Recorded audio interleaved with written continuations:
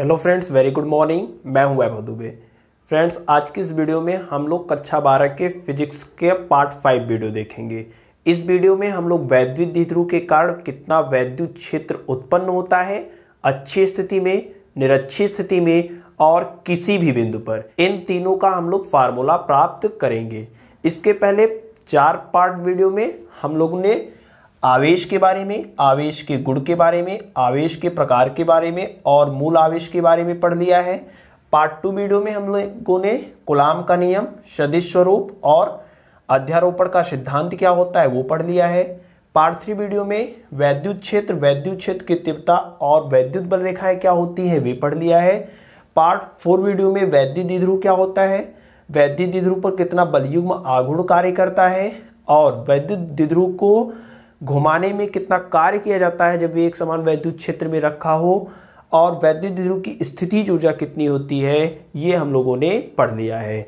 अब हमें पढ़ना है कि वैद्युत द्विध्रुव के कारण अक्षीय, निरक्षीय और किसी भी बिंदु पर कितना वैद्युत क्षेत्र की तीव्रता उत्पन्न होगी। तो चलिए देखते हैं। तो आज की इस वीडियो में हमारा जो नेक्स्ट हेडिंग होने वाला है, वह होने वाला है वैद्युत द्विध्रुव के कारण उत्पन्न वैद्युत क्षेत्र। Intensity of electric field due to electric dipole ठीक है? मतलब वैद्युत द्विध्रुव के कारण कितना वैद्युत क्षेत्र उत्पन्न होता है, हमें अब निकालना है। तो इसमें हमें तीन कंडीशन में पढ़ना है। एक, अच्छी स्थिति में, दूसरा, निरक्षी स्थिति में, और तीसरा, किसी भी बिंदु पर। तो सबसे पहले हम लोग देखेंगे अच्छी स्थिति में, ठीक है? अच्छी स्थिति में वैद्युत द्विध्रुव के कारण कितना वैद्युत क्षेत्र उत्पन्न होगा। ठीक है तो इसमें जो आपका पहला हेडिंग है वह है इन एक्सियल पोजीशन अच्छी स्थिति में। ठीक है? हमने आपको इसके पहले वाले वीडियो में वैद्युत द्विध्रुव के बारे में बताया था। वैद्युत द्विध्रुव क्या होता है? जब दो समान परिमाण के आवेश, किंतु विपरीत प्रकृति के एक दूसरे से बहुत अल्प दूरी पर रख दिए जाएँ तो इस निकाय को कहा जाता है वैद्युत द्विध्रुव। हमें क्या निकालना है? वैद्युत द्विध्रुव के कारण कितना वैद्युत क्षेत्र उत्पन्न हो रहा है।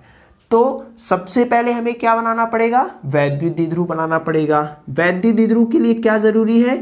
एक आपका माइनस क्यू आवेश हो और दूसरा आपका प्लस क्यू आवेश हो। ये दोनों आवेश एक दूसरे से अति सूक्ष्म दूरी पर रखे हो। हम जानते हैं इन दोनों आवेशों के बीच की जो दूरी है, हम लोग मान लेते हैं टू एल है। ठीक है? दोनों आवेशों के बीच की दूरी कितना है? टू एल है। अब मान लेते हैं इसके अक्ष में अच्छी स्थिति का मतलब होता है कि जो इलेक्ट्रिक डाइपोल है, इस इलेक्ट्रिक डाइपोल के अक्ष में अक्ष में मतलब इस बिंदु पर कहीं भी आपको वैद्युत क्षेत्र की तीव्रता निकालना है। अगर इलेक्ट्रिक डाइपोल इस प्रकार से दिया रहता है, तब इसके अक्ष का मतलब हो जाएगा कि इस जो ये लाइन मिल रही है आपको, इसके अक्ष पे कहीं भी वैद्युत क्षेत्र की तीव्रता, ठीक है? तो अच्छी स्थिति का मतलब होता है कि उसके अक्ष में रहना चाहिए मतलब उसी लाइन में एक प्रकार से समझिए तो रहना चाहिए, ठीक है? तो हमें क्या निकालना है? अच्छी स्थिति में तो यहाँ पे देखते हैं।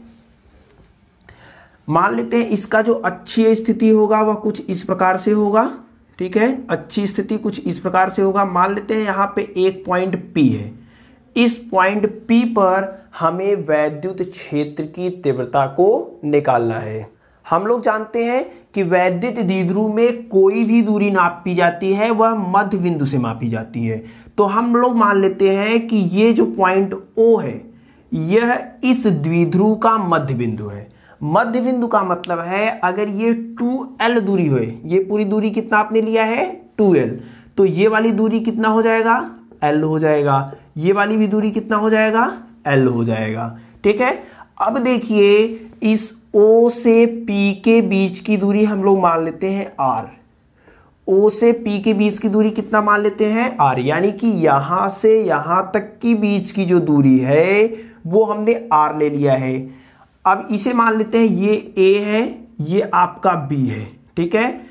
अब देखिए ओ से पी के बीच की दूरी कितना है? आर ओ से बी के बीच की दूरी कितना है? ये वाली दूरी एल है।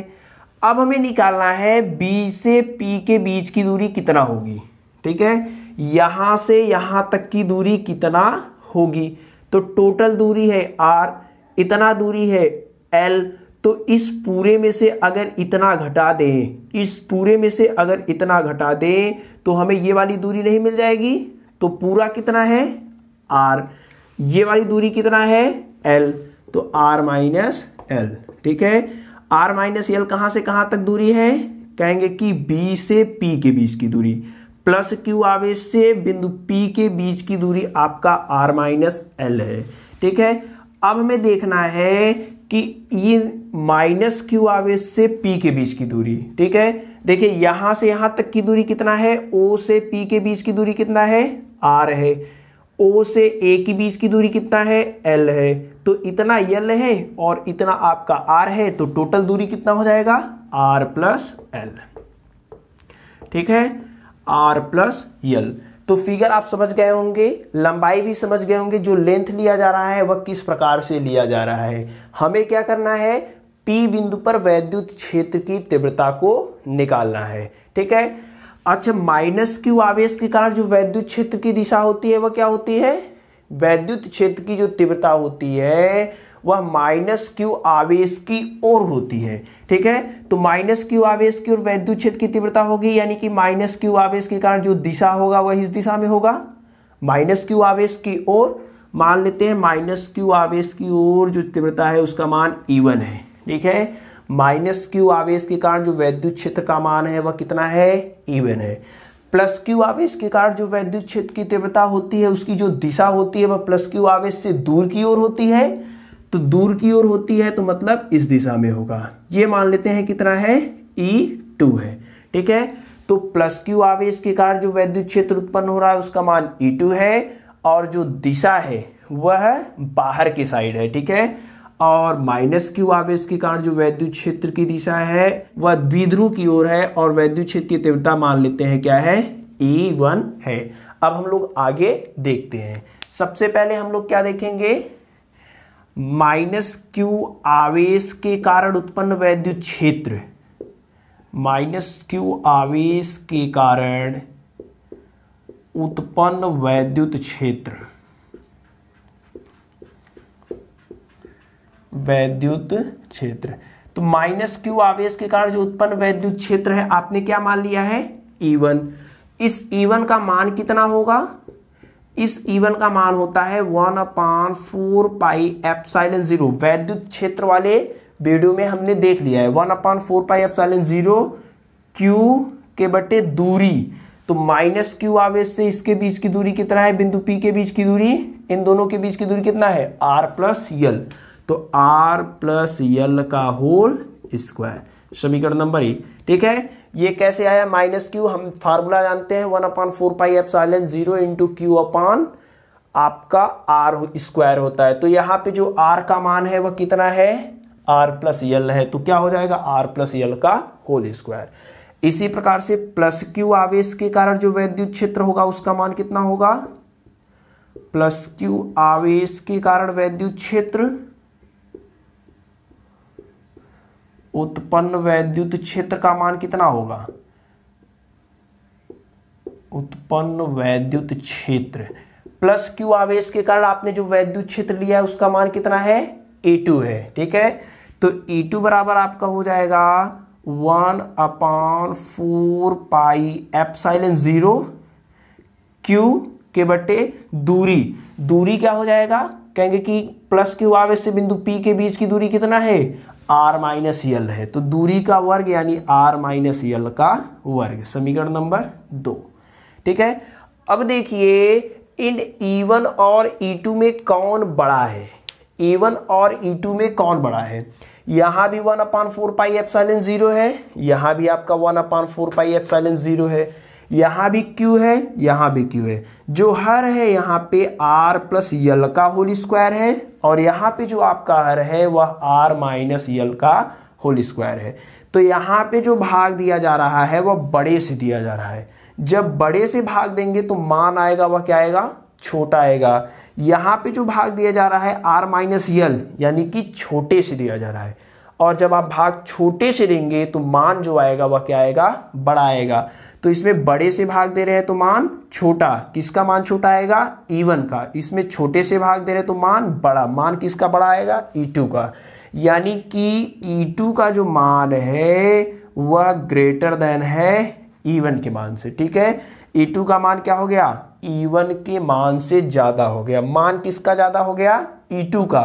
तो जो वैद्युत क्षेत्र, परिणामी वैद्युत क्षेत्र की जो दिशा होगी, वह किस दिशा में होगा? E2 की दिशा में होगा, ठीक है? ये माइनस क्यू आवेश के कारण बिंदु P पर वैद्युत क्षेत्र की तीव्रता है और ये वाला आपका प्लस क्यू आवेश के कारण बिंदु P पर वैद्युत क्षेत्र की तीव्रता है। अब हमें बिंदु P पर परिणामी वैद्युत क्षेत्र निकालना है।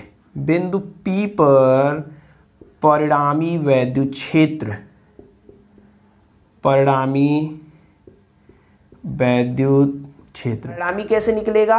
परिणामी निकालने के लिए हम लोग बड़े में से छोटे को क्या करते हैं? घटा देते हैं। परिणामी ऐसे ही निकलता है, बड़े में से छोटे को घटा देंगे। तो बड़ा कौन है? E2 छोटा कौन है? E1 E2 में से E1 को घटा देंगे। तो आपका जो E आएगा E2 का मान कितना है?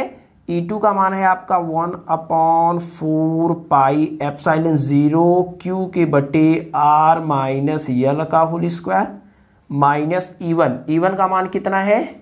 यहाँ पे। One upon four pi epsilon zero into Q के बटे आर प्लस यल का होल स्क्वायर ठीक है? अब देखिए, ठीक है? यहाँ से कुछ इस प्रकार से। इन दोनों में क्या चीज़ें कॉमन है? इस वाले में भी आपका one upon four pi epsilon zero है।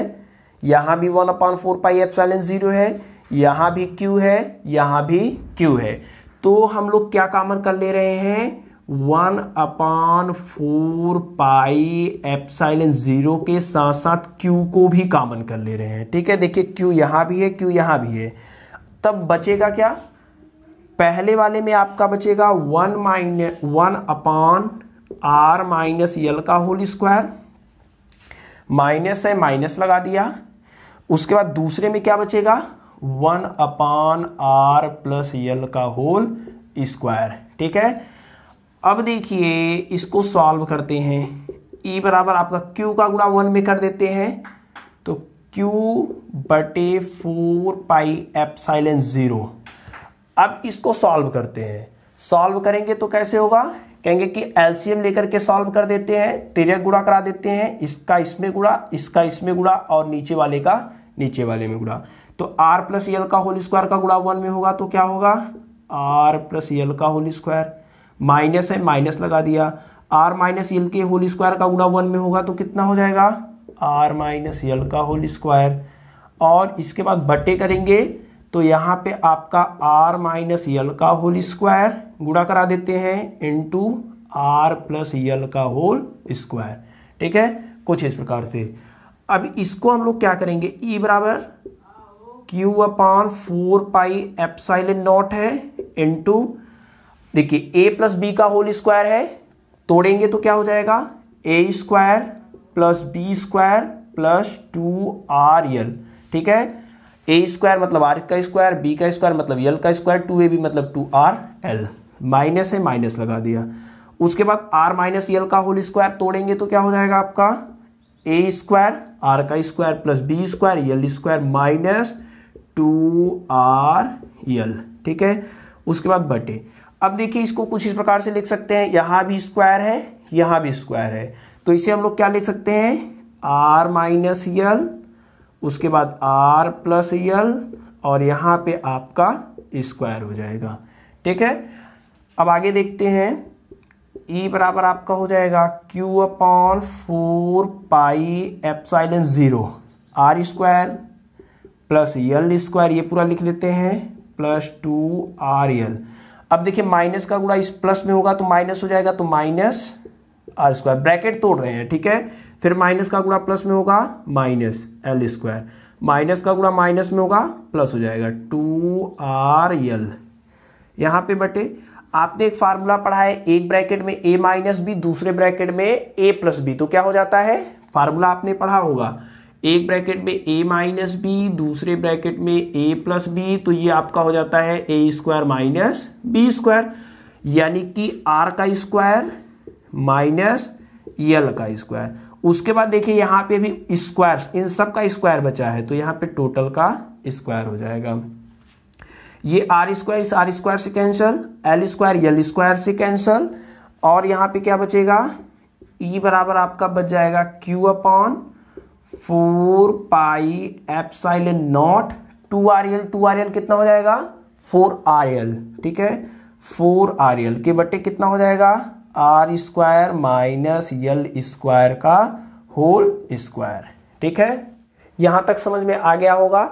अब देखिए, इधर आप लोग इसे फटाक से नोट कर लीजिए, हम लोग इसे रफ करते हैं, ठीक है? आप लोग वीडियो पॉज करके इसे जो है नोट कर लीजिएगा, हम लोग इसे रफ कर रहे हैं, ठीक है? तो इसके आगे देखते हैं क्या होगा। देखिए, हमने कहाँ तक निकाला है? E बराबर Q upon four pi epsilon zero four R L upon R square minus L square का होल स्क्वायर अब देखिए, जो R का मान है, ठीक है? R का जो मान है, वह बहुत ज़्यादा बड़ा है L के मान से, ठीक है? यल आप जानते हैं कि जो यल होता है, वह बहुत अत्यंत सूक्ष्म दूरी होता है, ठीक है? जो द्विध्रुव होता है, द्विध्रुव में जो आपकी दूरी होती है, वह बहुत कम होती है। और ये जो आर है, यानी जिस बिंदु पर हमें वैद्युत क्षेत्र की तीव्रता निकालनी है, वह दूर है। तो जो आर का मान है, वह बहुत ज़्यादा बड़ा है एल के मान से। तब बताइए, जो आर स्क्वायर का मान होगा, वह और भी ज़्यादा बड़ा होगा एल स्क्वायर के मान से। यानी कि एल स्क्वायर का मान आर स्क्वायर की तुलना में बहुत ज़्यादा छोटा है। जब एल स्क्वायर बहुत ज़्यादा छोटा है तो एल स्क्वायर को आर स्क्वायर की तुलना में छोड़ देंगे, ठीक है? एल स्क्वायर को क्या करेंगे? आर स्क्वायर की तुलना में छोड़ देंगे। जब आप एल स्क्वायर को छोड़ देंगे तो बचेगा क्या? यहाँ से देखिए एल स्क्वायर को हमें छोड़ देना है। तो बचेगा क्या? ई e बराबर आपका बचेगा Q upon four pi epsilon naught या epsilon zero four R L L square को छोड़ देते हैं तो क्या बचेगा? आर स्क्वायर आर स्क्वायर का स्क्वायर ठीक है? आर स्क्वायर का स्क्वायर अब देखिए ई e बराबर आपका क्या हो जाएगा? Q upon four pi epsilon naught four R L के बटे आर स्क्वायर का स्क्वायर करेंगे आर के पावर फोर। ये वाला आर इससे एक कट जाएगा, नीचे आपका कितना बचेगा? तीन बचेगा। देखिए, एक आर एक कार से कट जाएगा, तीन आर अभी भी बचा है। तो ई e बराबर आपका हो जाएगा Q upon four pi epsilon naught into देखिए, चार को लिख दे रहे हैं, दो गुड़े टू यल बटे आर क्यू ठीक है क्यों ऐसा लिख रहे हैं आगे हम लोग देखते हैं। इधर भी आप लोग नोट कर लीजिएगा। इधर का भी हम लोग रफ करते हैं। एकदम इजी है मैथमेटिकल है। अगर आप लोग एक एक बार, दो बार लगाएँगे तो इसे इजीली कर लेंगे। केवल नॉर्मल मैथमेटिक मैथिक्स है। ठीक है? अब देखिए, इसको हम लोग क्या कर रहे हैं? किस प्रकार से लिख रहे हैं? इसको हम लोग लिख रहे हैं ई e बराबर, देखिए क्यू इंटू टू एल लिख दे रहे हैं। One upon four pi epsilon naught लिख दे रहे हैं। इसको अलग कर दिया, अभी क्यू बचा है। सबसे पहले इस दो को लिख दे रहे हैं, दो को लिख दिया। अब देखिए इस क्यू को लिख रहे हैं। क्यू इंटू अब इस टू एल को लिख रहे हैं, ठीक है? टू एल को लिख दिया। बटे कितना है? आर क्यू है। किस प्रकार से लिखा? सबसे पहले one upon four pi epsilon को हमने क्या कर दिया? अलग लिख दिया, यहाँ पे। उसके बाद इस दो को लिख दिया, यहाँ पे। फिर क्यू गुड़े टू एल लिख दिया। और बटे में आपका आर क्यू है आर क्यू हो गया। आप जानते हैं वैद्युत द्विध्रुव आघूर्ण की परिभाषा से क्यू इंटू टू एल का मान कितना होता है? क्यू इंटू टू एल का मान वैद्युत द्विध्रुव की परिभाषा से पी होता है। तो टू पी अपॉन और क्यू यही आपका अच्छी स्थिति में उत्पन्न वैद्युत क्षेत्र का मान होता है, ठीक है? वैद्युत द्विध्रुव के कारण अच्छी स्थिति में उत्पन्न वैद्युत क्षेत्र ई e का मान one upon four pi epsilon zero गुड़े two P upon R cube होता है। इसकी जो दिशा होगी, वह क्या होगी? द्विध्रुव से बाहर की ओर होगी, ठीक है? दिशा क्या होगी? द्विध्रुव से बाहर की ओर। क्यों बाहर की ओर होगी? क्योंकि आपने देखा, जो E2 है, वह ज़्यादा है। जब ज़्यादा है तो दिशा भी उसी की होगी। और E2 की दिशा क्या है? बाहर की ओर है तो इसकी भी दिशा क्या हो जाएगी? बाहर की ओर हो जाएगी। तो अच्छी स्थिति में E बराबर one upon four pi F zero two P upon R Q आता है वैद्युत क्षेत्र की तीव्रता का मान। ठीक है? इसे आप लोग नोट कर लीजिए। इसके बाद हम लोग देखेंगे निरक्षीय स्थिति में। अब हम लोग देखेंगे निरक्षीय स्थिति में उत्पन्न वैद्युत क्षेत्र की तीव्रता, ठीक है? ये वाला जो था, वो था अच्छी स्थिति में कितना वैद्युत क्षेत्र उत्पन्न हुआ है। इजी था, केवल मैथमेटिकल है। आप एक बार, दो बार इसे लगाएँगे इजीली आप सॉल्व कर लेंगे। इंपॉर्टेंट है एग्ज़ाम में भी आता है, ठीक है? आप एक बार, दो बार अगर कुछ भी समझ में ना आया हो तो वीडियो को रिवर्स करके देखिए।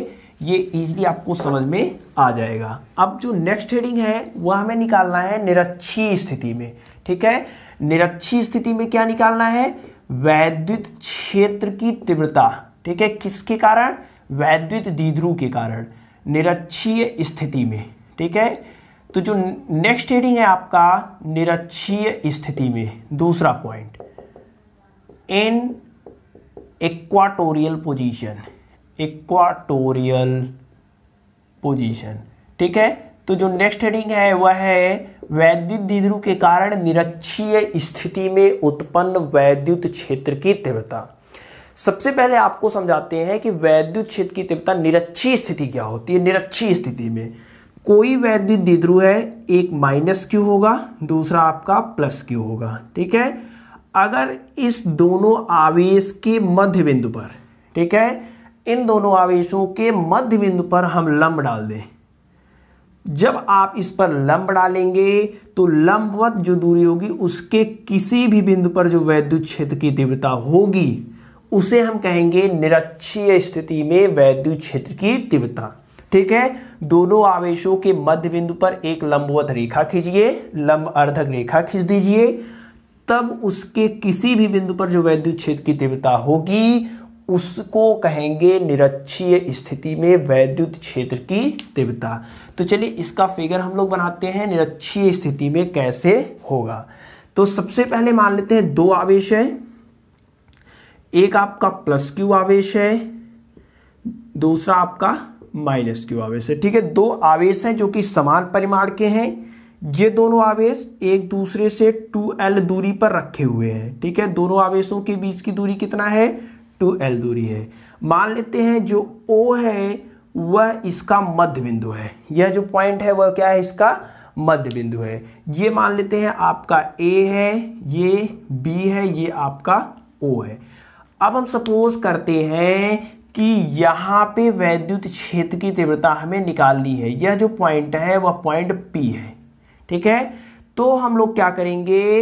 इस माइनस क्यू आवेश से इस पी को मिला देते हैं। प्लस क्यू आवेश से पी को मिला देते हैं और इस पर क्या करेंगे? लंब डाल देंगे कुछ इस प्रकार से। ठीक है? अब देखिए इस पर लंब डाल दिए। तो यहाँ से इस पर लंब डाले हैं। ये मध्य बिंदु है। ये क्या है आपका? मध्य बिंदु है। अगर ये कोण थीटा होगा तो ये कोण भी क्या हो जाएगा? थीटा हो जाएगा। क्यों? क्योंकि ये वाली भुजा, ये वाली भुजा दोनों क्या होंगी? बराबर होंगी।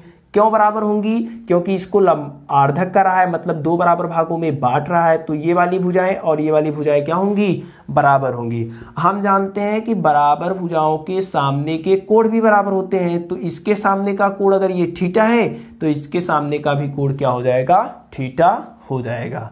ठीक है? अब मान लेते हैं प्लस माइनस क्यू आवेश के कारण। माइनस क्यू आवेश के कारण जो वैद्युत क्षेत्र उत्पन्न होगा, उसे मान लेते हैं ईवन है। ठीक है? और इसकी जो दिशा होगी, वह माइनस क्यू आवेश के कार, आवेश की ओर होगी।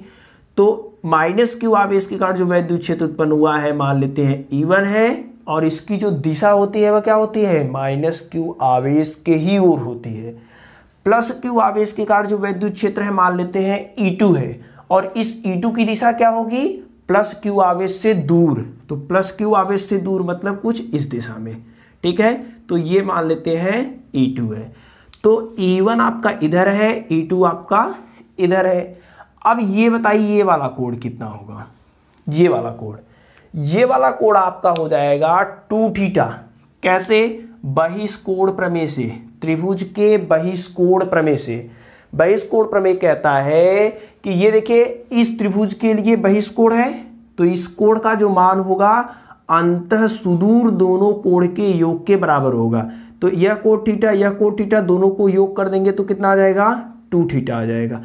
तो इसका जो मान होगा, इस पूरे कोण का जो मान होगा, वह कितना होगा? टू थीटा होगा। तो इसका जो परिणामी होगा, इन एक देखिए वैद्युत क्षेत्र की तीव्रता इधर कार्य कर रही है, दूसरा वैद्युत क्षेत्र की तीव्रता इधर कार्य कर रहा है। तो जो इसका परिणामी होगा, वह कुछ इस दिशा में कार्य करेगा। ठीक है? और ये वैद्युत द्विध्रुव के समांतर होगा। प्लस क्यू आवेश से माइनस क्यू आवेश की ओर कार्य कर रहा होगा, ठीक है?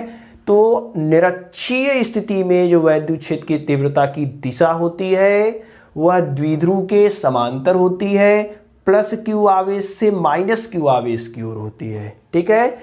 अब देखिए हमें क्या निकालना है। माइनस क्यू आवेश के कारण इस बिंदु पी के बीच की दूरी, प्लस क्यू आवेश के कारण इस बिंदु पी के बीच की दूरी, ये दोनों दूरियाँ आपस में बराबर है। जब दोनों दूरियाँ आपस में बराबर है तो इनके अगर ये दूरी निकालेंगे तो ये भी ऑटोमेटिक वही होगा। तो इसको निकालेंगे कैसे? कहेंगे कि इसको निकालने के लिए हम लोग यूज़ करेंगे पाइथागोरस प्रमेय, ठीक है? पाइथागोरस प्रमेय। पाइथागोरस प्रमेय क्या कहता है? देखिए, पाइथागोरस प्रमेय समकोण त्रिभुज में लगता है। हम लोग जानते हैं कि यह एक लंब डाले हैं तो यह कैसा त्रिभुज हो गया? समकोण त्रिभुज हो गया। और हाँ एक चीज़ और ध्यान दीजिएगा, ये वाली जो दूरी होगी, वह मान लेते हैं हम लोग आर है, ठीक है? ये टोटल दूरी टू एल है तो यह वाली दूरी कितना हो जाएगा? एल हो जाएगा आधी दूरी है तो एल हो जाएगा, ये वाली भी दूरी कितना? एल हो जाएगा, ठीक है? तो ये आपका कुछ इस प्रकार से फिगर बनेगा। अब हमें क्या निकालना है? ये वाली दूरी। P से A की बीच की दूरी। तो पी ए इस त्रिभुज के लिए क्या है? पी ए इस समकोण त्रिभुज के लिए क्या है? कर्ण है। ठीक है? तो कर्ण का स्क्वायर यानी कि पी ए का स्क्वायर इज़ इक्वल टू कितना हो जाएगा? लंब का स्क्वायर पाइथागोरस प्रमेय कहता है कर्ण का स्क्वायर इज़ इक्वल टू लंब का स्क्वायर प्लस आधार का स्क्वायर तो लंब कौन होगा? ये वाला होगा थीटा के ठीक सामने वाला। तो ये वाली भुजा की लंबाई कितना है? आर है। तो आर का स्क्वायर प्लस। आधार आधार कितना है? ये लंबाई कितना है? एल है। तो एल का स्क्वायर ठीक है? तो पी ए को अगर लेंगे यहाँ से तो ये वर्ग में है तो इधर आएगा तो ये अंडर रूट में हो जाएगा, यानी R square plus L square हो जाएगा, ठीक है? तो ए से पी के बीच की दूरी कितना आ गया? R square plus L square ये भी दूरी कितना होगा? R square plus L square ठीक है? दोनों दूरियाँ बराबर है, दोनों भुजाएँ बराबर हैं, दोनों भुजाओं के ठीक सामने वाले कोड भी क्या होंगे? बराबर हो जाएँगे। ठीक है? ये अगर कोई पूछेगा, कोड बराबर क्यों है? तो आप कहेंगे, ये भुजा इस भुजा के बराबर है, जब भुजाएँ बराबर है तो किसी त्रिभुज में समान भुजाओं के सामने के कोड भी बराबर होते हैं। अतः इसके सामने का ये वाला कोड, इसके सामने का ये वाला कोड दोनों बराबर होते हैं। अगर आपसे कोई पूछता है, ये कोड टू थीटा कैसे हो गया? तो कहेंगे कि बहिष्कोण प्रमेय से, त्रिभुजों के बहिष्कोण प्रमेय से।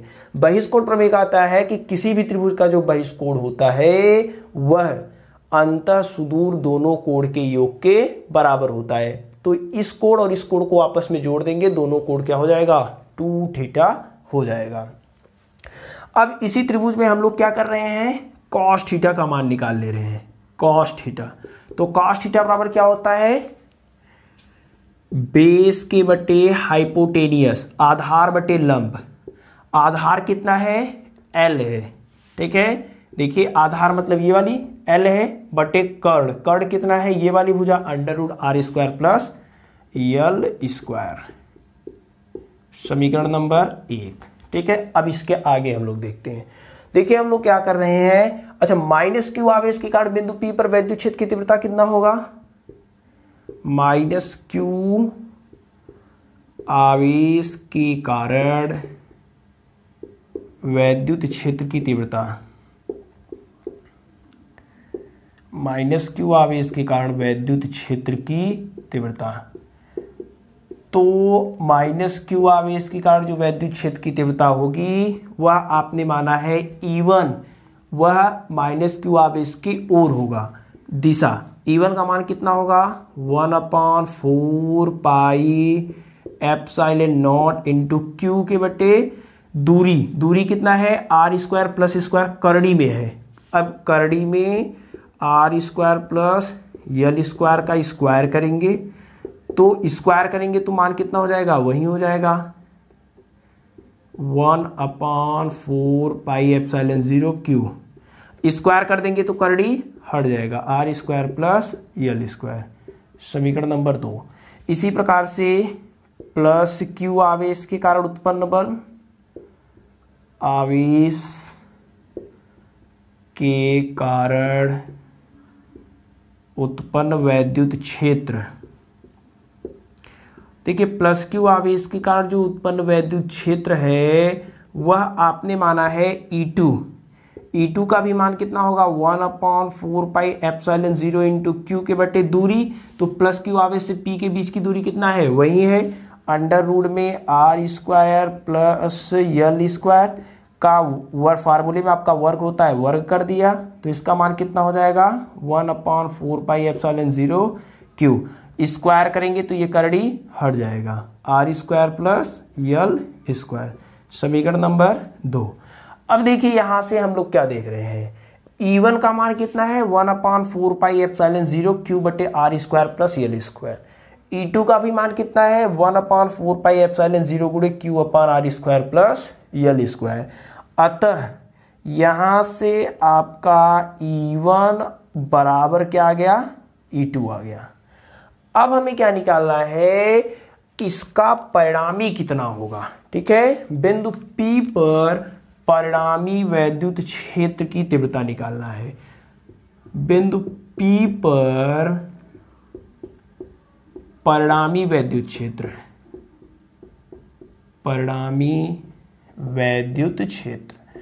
देखिए, माइनस क्यू आवेश के कारण जो वैद्युत क्षेत्र कार्य कर रहा है वह इस दिशा में प्लस क्यू आवेश के कारण जो वैद्युत क्षेत्र कार्य कर रहा है, वह इस दिशा में तो जो रिजल्टेंट होगा, वह इस दिशा में होगा।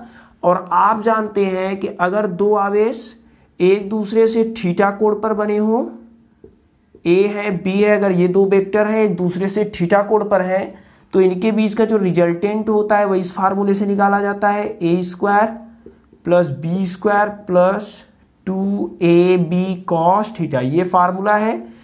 इसी फार्मूले से e का जो मान होगा वह कितना हो जाएगा? कहेंगे कि ई e वन का स्क्वायर प्लस ई टू का square plus two E one E two cos theta हो जाएगा। लेकिन यहाँ पे जो कोड है, दोनों दोनों वेक्टरों के बीच का जो कोड है, वह टू थीटा है। तो यहाँ पे क्या करेंगे? टू थीटा कर देंगे। ठीक है? ई वन ई टू बराबर है। ई वन ई टू क्या है? बराबर है तो ई टू के स्थान पे भी हम लोग क्या लिख सकते हैं? ई वन ही लिख सकते हैं। तो ई बराबर आपका क्या हो जाएगा? E one square E two के स्थान पर क्या लिख दे रहे हैं? ई वन क्यों? क्योंकि दोनों देखिए यहाँ से ई वन ई टू आपस में बराबर है तो ई वन के स्थान पर ई टू लिख सकते हैं ई टू के स्थान पर ई वन तो ई टू के स्थान पर हम लोग ई वन लिख रहे हैं। यहाँ ई टू है, यहाँ भी E one cos two theta ठीक है? उसके बाद ई का मान कितना हो जाएगा? E one square E one square two E one square E one का गुड़ा ई वन में होगा ई वन स्क्वायर हो जाएगा कॉस टू थीटा हो जाएगा। ठीक है? अब देखिए इसके आगे क्या करते हैं हम लोग। ई e बराबर लिखेंगे, यहाँ पे देखिए, दोनों में। ईवन स्क्वायर कॉमन है। यहाँ भी इवन स्क्वायर है, यहाँ भी इवन स्क्वायर है। इवन स्क्वायर को कॉमन कर लेते हैं तो यहाँ क्या बचेगा? Two plus two cos two theta और देखिए ई e बराबर आपका क्या इवन स्क्वायर बाहर निकल जाएगा इवन हो जाएगा। अंदर क्या बचेगा? Two plus two cos two theta cos two theta का एक फार्मूला होता है, ठीक है? हम लोग जानते हैं कॉस टू थीटा बराबर आपका होता है फार्मूला है कॉस टू थीटा बराबर two cos square theta minus one ठीक है? ये एक फार्मूला है तो इसी फार्मूले का उपयोग करेंगे। कॉस टू थीटा बराबर two cos square theta minus one ठीक है? इस दो का अंदर गुणा करा देते हैं। ई e बराबर आपका हो जाएगा ई ई वन हो जाएगा। टू प्लस टू का गुड़ा टू में होगा four cos square theta minus two two two से कैंसल बचेगा क्या? ई e बराबर आपका E one four cos square theta E बराबर आपका क्या हो जाएगा? ई वन फोर क्या हो जाएगा? टू कॉस स्क्वायर थीटा क्या हो जाएगा? कॉस थीटा ठीक है? तो ई e का मान कितना आ गया? ई वन गुड़े टू कॉस थीटा इसके आगे हम लोग इधर देखते हैं। आप लोग इसे नोट कर लीजिए। नोट कर लीजिए। वीडियो को पॉज करके। आगे हम लोग देखते हैं इसके आगे। ठीक है? जो ई e वन का मान होगा वो कितना हो जाएगा? सॉरी, समीकरण नंबर एक यहाँ पे हमने लिखा था कॉस थीटा का मान। देखिएगा आप कॉस थीटा बराबर हमने क्या लिखा था? यल के बटे L square plus R square समीकरण नंबर एक। यहीं पे, कहीं पे लिखा गया था, ठीक है? उसी का उपयोग करके यहाँ पे कॉस थीटा का मान लिखेंगे। ई e बराबर आपका क्या हो जाएगा? ई वन ई वन का मान कितना आया था? देख लीजिएगा आप लोग one upon four pi epsilon zero Q के बटे R square plus L square E one E two दोनों का मान यही आया था। इन टू देखिए क्या है? टू है। तो टू लिख दिए। कॉस थीटा कॉस थीटा का मान कितना है? यल के बटे अंडर रूड में L square plus R square ठीक है? यहाँ पे आपका आ गया। अब देखिए इसको हम लोग रफ कर देते हैं। इसके आगे देखते हैं। ई e बराबर आपका हो जाएगा one upon four pi epsilon zero. Q का गुड़ा टू एल में होगा। क्यू इंटू टू एल चलिए एक लाइन में लिख देते हैं। क्यू इंटू टू एल यहाँ पे देखिए R square plus L square है और यहाँ पे करड़ी में R square plus L square है। यानी कि R square plus L square का गुड़ा करड़ी में R square plus L square से हो रहा है। तो इसको हम लोग कुछ इस प्रकार से लिख सकते हैं। R square plus L square गुड़े करड़ी में R square plus L square है, उसको घात एक बटा दो लिख सकते हैं। गुड़ा में घात आपस में जुड़ जाएँगे। तो जब घात जुड़ जाएँगे तो मान कितना आ जाएगा? तीन बटा दो। इसका घात एक, इसका घात एक बटा दो।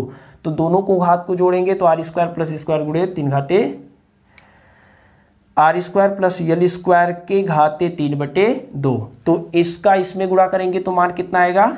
इतना आएगा। डायरेक्टली हम लोग लिख रहे हैं R square plus L square के घाते तीन बटा दो। ठीक है? अभी अभी निरत, अभी अभी अच्छी स्थिति में हमने क्या पढ़ा? हमने पढ़ा कि जो आर का मान है वह बहुत बड़ा है एल के मान से।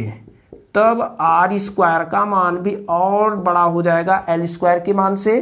अतः एल स्क्वायर को आर स्क्वायर की तुलना में छोड़ देंगे। ठीक? तुलना में छोड़ देंगे। क्यों छोड़ देते हैं? इसके पहले हम लोग देख चुके हैं। छोड़ देंगे। देखिए, एल स्क्वायर को क्या कर रहे हैं? छोड़ दे रहे हैं। तो ई का मान कितना आएगा? One upon four pi epsilon naught Q into two L. कितना हो जाएगा? पी। एल स्क्वायर को छोड़ देंगे तो आर स्क्वायर के घाते तीन बटा दो। ये दो इस दो इस कट कर जाएगा। ई e बराबर कितना हो जाएगा? One upon four pi epsilon zero P के बट्टे आर क्यू, ठीक है?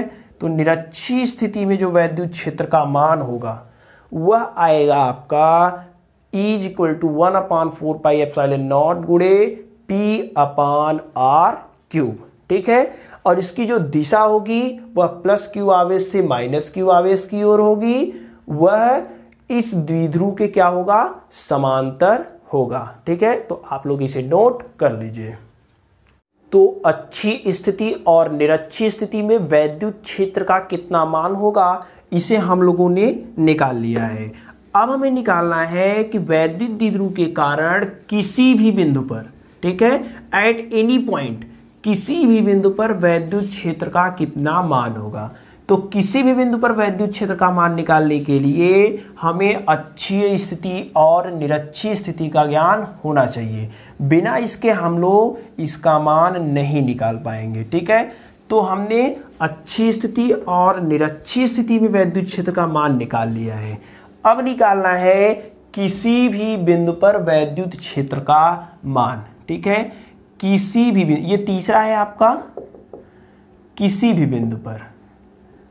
किसी भी बिंदु पर, ठीक? तो किसी भी बिंदु पर, यानी at any point at any point वैद्युत दिद्रु के कारण किसी भी बिंदु पर वैद्युत क्षेत्र का मान कितना होगा? अब हम लोगों को निकालना किसी भी बिंदु पर वैद्युत क्षेत्र की तीव्रता निकालने के लिए सबसे पहले आपको फिगर बनाना ज़रूरी है। फिगर को समझना ज़रूरी है। इसका सबसे इंपॉर्टेंट फिगर ही है। अगर आप फिगर इजिली समझ जाएँगे तो इसे तुरंत सॉल्व कर लेंगे। तो चलिए फिगर समझते हैं। कोई दो आवेश है? ए माइनस क्यू आवेश है। ये दोनों प्लस क्यू आवेश है। दोनों आवेश एक दूसरे से कुछ दूरी पर रखे हैं। मान लेते हैं दोनों आवेशों के बीच की दूरी ट्वेल्व है। ठीक है? ये इसका मान लेते हैं मध्य बिंदु ओ है। ये ए है, ये आपका बी है। ठीक है? मान लेते हैं इस बिंदु पर हमें वैद्युत क्षेत्र का मान निकालना है। ये जो पी बिंदु है, यह न तो अच्छी स्थिति, अगर इस अक्ष पे होता तो अच्छी स्थिति, इसके मध्य बिंदु पर डाले गए लंब पर होता तो निरक्षी स्थिति। न इसके अच्छी स्थिति में है, न ही निरक्षी स्थिति में है। तो इस बिंदु P पर वैद्युत क्षेत्र का कैसे मान निकालेंगे, अब हम लोग जानेंगे। चलिए P को O से मिला देते हैं। ये दूरी मान लेते हैं, वह R है, ठीक? ये दूरी कितना है मान लिया हमने? R है। ये बताइए, ये माइनस क्यू आवेश है और ये प्लस क्यू आवेश है सॉरी प्लस क्यू आवेश है। अब दोनों आवेश वैद्युत द्विध्रुव का निर्माण कर रहे हैं। तो एक वैद्युत द्विध्रुव आघूर्ण उत्पन्न हो जाएगा। वैद्युत द्विध्रुव आघूर्ण जो होगा, उसकी जो दिशा होती है वह माइनस क्यू आवेश से प्लस क्यू आवेश की ओर होती है। तो जो वैद्युत द्विध्रुव आघूर्ण उत्पन्न होगा, वह माइनस क्यू आवेश से प्लस क्यू आवेश की ओर होगा। ये एक सदिश राशि है। इसको हम लोग दो भागों में बांट देते हैं, ठीक है? इसको दो भागों, अब मान लेते हैं ये वाला जो कोण है वह कितना है? थीटा है। इस पी को दो भागों में बांट दे रहे हैं। इस पी को दो भागों में बांटेंगे तो मान लेते हैं कुछ इस प्रकार से हमने बांट दिया। अच्छा आप थोड़ा समझिए कि अगर कोई वेक्टर है, ये मान लेते हैं वेक्टर ए है, इसको दो भागों में बांटना है तो ये वाला जो भाग होता है, ये अगर कोट थीटा है तो ये वाला जो भाग होता है वह ए कॉस थीटा होता है, ये वाला जो भाग होता है वह ए साइन थीटा होता है। ठीक है? देखिए जिसके साथ ठीटा लगा रहता है, ठीक है? जिसके साथ ठीटा लगा रहता है, उसको कॉस लेते हैं। इसके साथ ठीटा लगा है तो कॉस थीटा ले लिए। यहाँ पे देखिए ठीटा किसके साथ लगा है? इस वाले के साथ। तो ये वाला क्या हो जाएगा? कॉस में हो जाएगा। यानी कि पी को भाग करें तो पी कॉस ठीटा हो जाएगा। तब ये वाला क्या हो जाएगा? जिसके साथ ठीटा नहीं लगा है, वह साइन में हो जाएगा। यानी कि पी साइन थीटा ठीक है? सबसे पहले यहाँ पे क्या हमने देखा कि माइनस क्यू आवेश प्लस क्यू आवेश के कारण जो वैद्युत द्विध्रुव आघूर्ण उत्पन्न हुआ है, उसकी दिशा माइनस क्यू आवेश से प्लस क्यू आवेश की ओर हो रही है। अब इन दोनों आवेशों को हमने दो भागों में बांट दिया। ये वाला जो भाग हमें मिला है वह पी कॉस थीटा मिला है। ये वाला जो भाग मिला है वह पी साइन थीटा मिला है। अब यहाँ पे हमें क्या करना है, कल्पना कीजिए, इस वाले भाग को हमने थोड़ा सा पीछे बढ़ा दिया। ठीक है? इसको, यहाँ से। यहाँ से हमने पीछे बढ़ा दिया। तब ये जो पी कॉस थीटा है पी कॉस थीटा के कारण, इसके कारण ये वाला जो बिंदु है, इसके कारण ये वाला जो बिंदु है, वह अच्छी स्थिति में है कि नहीं? देखिए, इस पी कॉस थीटा के कारण जो बिंदु पी पर अगर वैद्युत क्षेत्र की तीव्रता निकालना है पी कॉस थीटा के कारण बिंदु पी पर वैद्युत क्षेत्र की तीव्रता निकालना है तो किस अच्छी स्थिति में होगा कि नहीं? इसी के अक्ष में है। अब इस वाले लाइन को अगर हम लोग बढ़ाते हैं ऐसे, यहाँ पे तो P साइन थीटा के कारण अगर इस बिंदु पर निकाले वैद्युत क्षेत्र की तीव्रता P पर, P साइन थीटा के कारण तो देखिए यह क्या है? इस पर लंब है, ठीक है? इस पर जब लंब है तो ये क्या हो जाएगा? निरक्षी स्थिति में हो जाएगा। यानी कि P कॉस थीटा के कारण जो बिंदु P पर वैद्युत क्षेत्र की तीव्रता होगी, वह अच्छी स्थिति में होगी। P साइन थीटा के कारण जो बिंदु P पर वैद्युत क्षेत्र की तीव्रता होगी, वह निरक्षीय स्थिति में होगी। ठीक है? P साइन थीटा के कारण जो वैद्युत क्षेत्र की तीव्रता होगी, वह निरक्षीय स्थिति में होगी। देखिए, ये वाली लाइन इस वाली लाइन पे क्या है? लंब है। जब लंब होता है तो लंब वर्धक के किसी बिंदु पर वैद्युत क्षेत्र की तीव्रता निरक्षी स्थिति को बताती है। अब जो पी कॉस्टिटा है, अक्ष में है, उसी लाइन में है तो उसी लाइन में है तो अच्छी स्थिति में हो गई। अब हम लोग जानते हैं कि जो अच्छी स्थिति में वैद्युत क्षेत्र की तीव्रता होती है, अच्छी स्थिति में जो वैद्युत क्षेत्र की तीव्रता होती है, वह बाहर की ओर होती है। तो यहाँ पे जो वैद्युत क्षेत्र की तीव्रता होगी, वह बाहर की ओर होगी, ये मान लेते हैं ईवन है। ये वाला पी साइन थीटा कारण किसके है? निरक्षी स्थिति के। तो निरक्षी स्थिति के कारण जो वैद्युत क्षेत्र की तीव्रता होती है, वह द्विध्रुव के समांतर होती है। तो ये वाला जो द्विध्रुव है, इसके समांतर? तो इसके समांतर मतलब ये, ठीक है? अब देखिए, ये लंबवत होगा इस पर तो ये वाला जो कोण हो जाएगा, वह कितना हो जाएगा?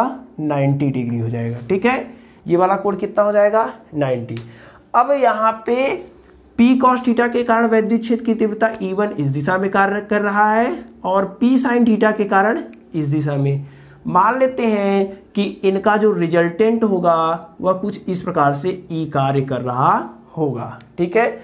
तो फिगर आप उम्मीद करते हैं, समझ गए होंगे। अगर नहीं समझ पाए होंगे तो वीडियो को एक बार फिर से रिवर्स करके देखिए। आपको कुछ समझ में आ जाएगा। चलिए, अब हम निकालते हैं वैद्युत क्षेत्र की तीव्रता का मान कितना होगा।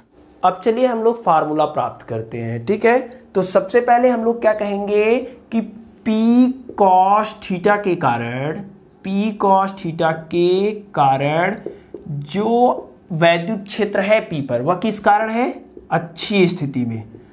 अच्छी स्थिति में बिंदु P पर, अच्छी स्थिति में बिंदु P पर वैद्युत क्षेत्र की तीव्रता।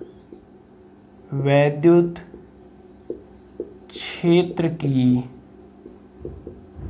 तीव्रता। तो P कॉस थीटा के कारण आपने क्या माना है?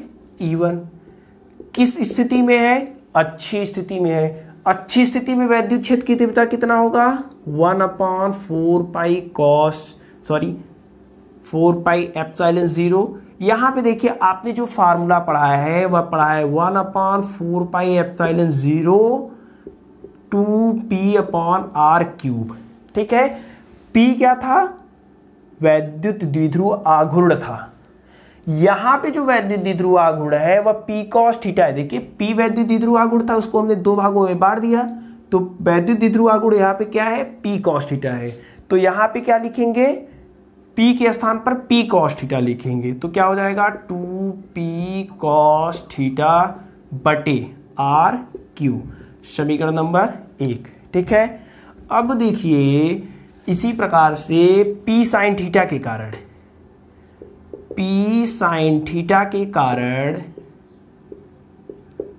निरक्षीय बिंदु P पर, निरक्षीय बिंदु P पर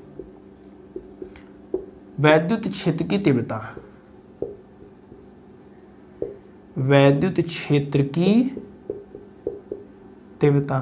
अभी अभी आपने क्या पढ़ा कि निरक्षी स्थिति के कारण जो वैद्युत क्षेत्र की तीव्रता ई e होता है, वह one upon four pi epsilon zero P upon R Q होता है। पी क्या है? वैद्युत द्विध्रुव आघूर्ण है। यहाँ पे जो वैद्युत द्विध्रुव आघूर्ण है, वह कितना है? पी साइन थीटा है।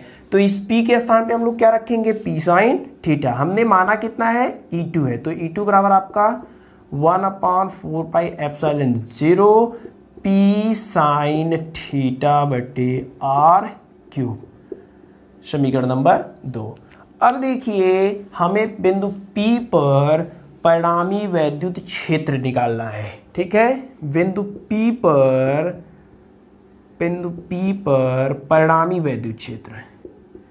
तो परिणामी वैद्युत क्षेत्र कैसे निकलेगा?